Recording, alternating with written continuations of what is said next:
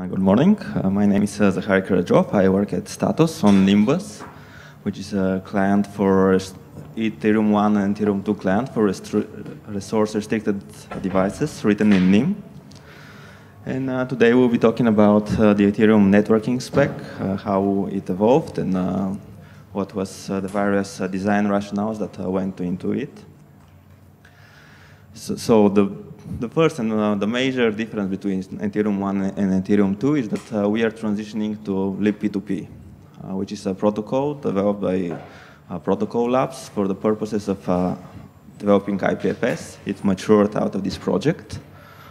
And uh, I figured I should start with a few words why this transition was made and why we decided to move to libp2p.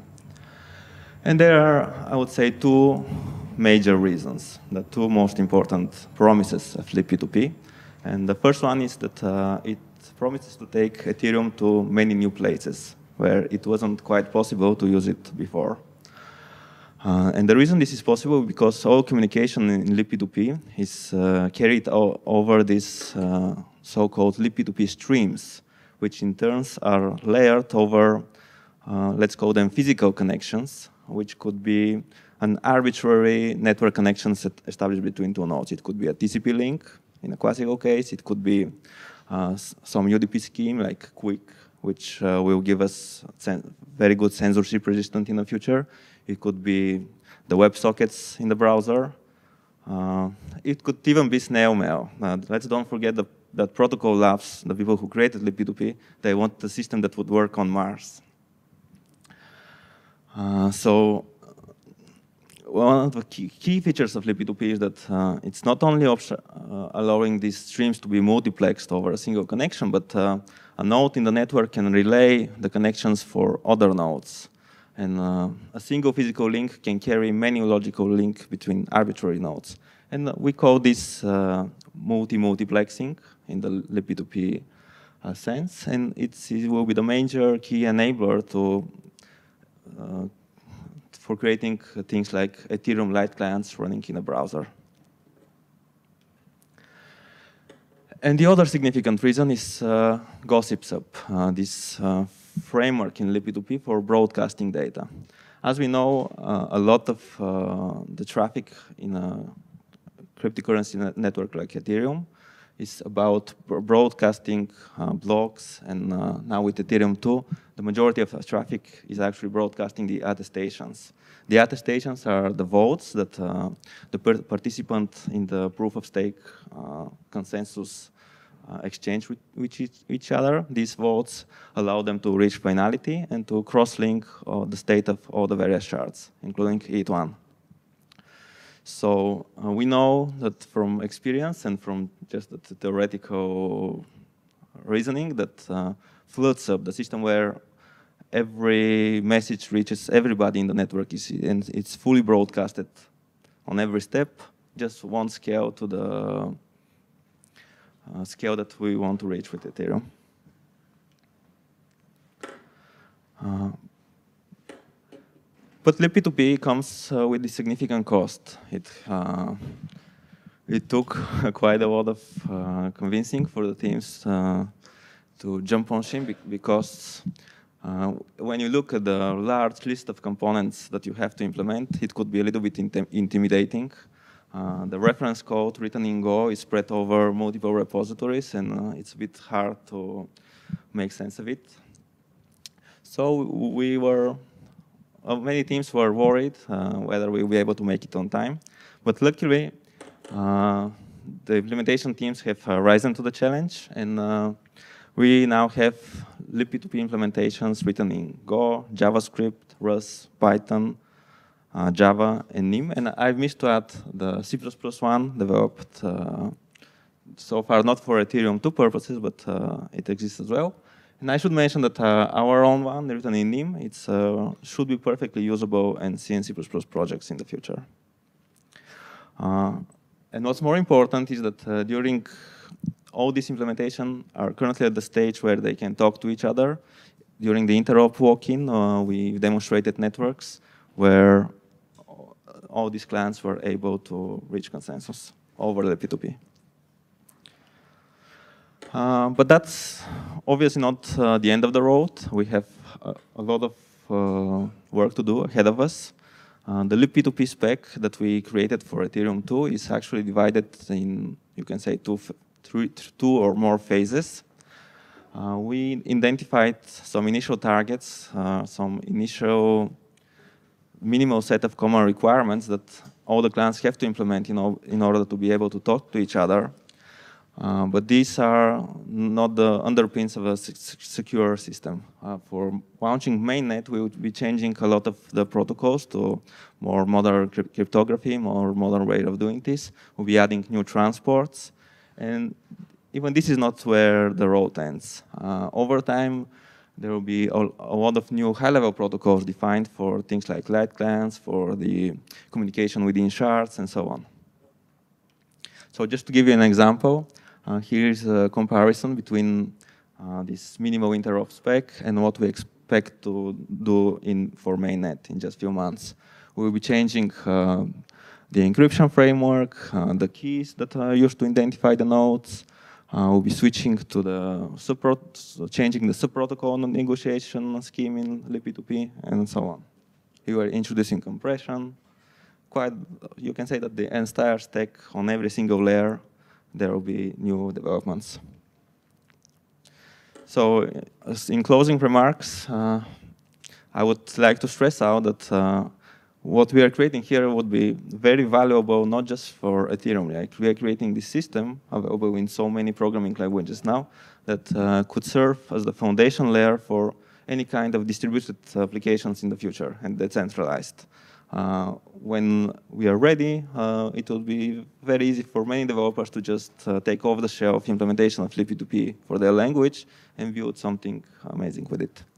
So libp2p is not just for Ethereum, but Ethereum, our effort will make it much, much stronger. All right, so uh, I feel that the next part of the talk will be will walk us through how do you connect to the network, like what are the individual steps. Uh, the first thing you need uh, is a discovery mechanism. Uh, now, I did mention that uh, libp2p is uh, going to go through further evolution, but one area where it didn't quite meet the needs of Ethereum right now was discovery. since Ethereum has been solving the discovery problem for a while, and we have identified some unique requirements like, that we want to have in the network, the existing libp2p solutions for discovery didn't quite meet them. So instead, uh, we decided to uh, unite the efforts for Ethereum 1 development and Ethereum 2 and introduce a new discovery mechanism called Discovery v5, which will be used in both networks. So the key features uh, that are missing in libp2p at this point is, uh, one, first of all, the capability advertising. This is where a node, a node can um, uh, make sure that uh, can be found uh, on the criteria that it supports a particular protocol. For example, this could be a node that supports um, a light client protocol and it can act as a server. And the other uh, feature is topic advertising. Now, this is more about that this node has access to some resource. For example, it could be the fact that the node is currently connected to a particular shard, so you can sync the information on this particular shard, and you need to find nodes which are already connected to it. Uh, and within Discovery v5, uh, there is this general purpose mechanism of attaching arbitrary data. So it's both extensible in the future for adding more relevant information, and it's uh, quite easy to adapt it to the needs of libp2p already. So after we have found uh, other nodes on the network, uh, what we usually do is we will start uh, listening to the broadcast, the GossipSub traffic, as I mentioned. And uh, here I, have listed uh, the few particular gossip, gossip topics that are relevant for kind of following the progress on the beacon chain. And we have a topic where new blocks are produced.